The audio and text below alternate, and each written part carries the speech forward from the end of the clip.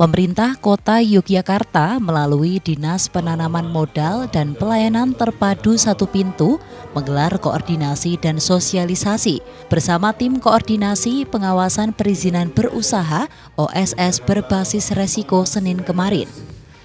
Bertempat di salah satu hotel di Jalan Urip Sumuharjo, Kota Yogyakarta, sosialisasi tersebut dihadiri oleh kurang lebih 15 elemen pemerintahan. Diketahui tujuan pengawasan perizinan berusaha berbasis resiko ini sesuai dengan peraturan pemerintah pasal 217 tahun 2022 untuk memastikan kepatuhan pemenuhan persyaratan dan kewajiban oleh para pelaku usaha. Dengan mengumpulkan data, bukti dan laporan terjadinya bahaya terhadap keselamatan, kesehatan, lingkungan hidup dan bahaya lainnya yang ditimbulkan dari pelaksanaan kegiatan usaha rujukan pembinaan atau pengenaan sanksi administratif terhadap pelanggaran perizinan berusaha. Ada beberapa tahapan pengawasan rutin yang dilakukan oleh pemerintah Kota Yogyakarta, yakni perencanaan pengawasan, pelaksanaan pengawasan, dan hasil pengawasan.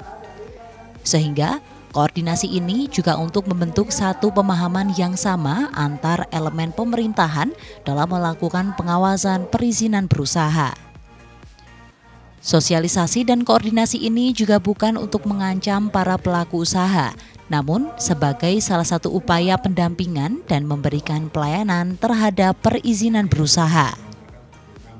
Koordinasi sekaligus sosialisasi bagi tim eh, pengawas eh, perizinan berisiko di Kota Yogyakarta. Jadi um, ini adalah tim yang kita bentuk setiap tahun dan tahun ini dilakukan apa ya uh, koordinasi dan sosialisasi internal dalam tim itu sehingga terbentuk satu pemahaman yang sama sebetulnya untuk tim ini yang nanti akan bergerak ke 40 lokasi dan nantinya tentu akan lokasinya ditentukan kemudian dan ini adalah rangka untuk memberikan bukan um, menakut-nakuti tapi ini bagian dari pendampingan dan dan juga memberikan pelayanan terhadap uh, perizinan itu sendiri. Ini akan uh, juga akan memberikan satu iklim investasi di kota Jakarta akan semakin lebih baik ya kemudian tertib perizinan juga akan menjadi bagian yang perlu kita Okay.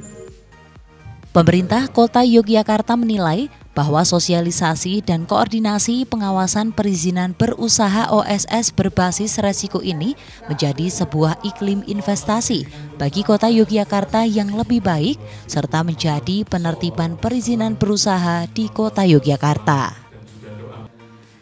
Dari Yogyakarta, Erik Pratama, Adit TV.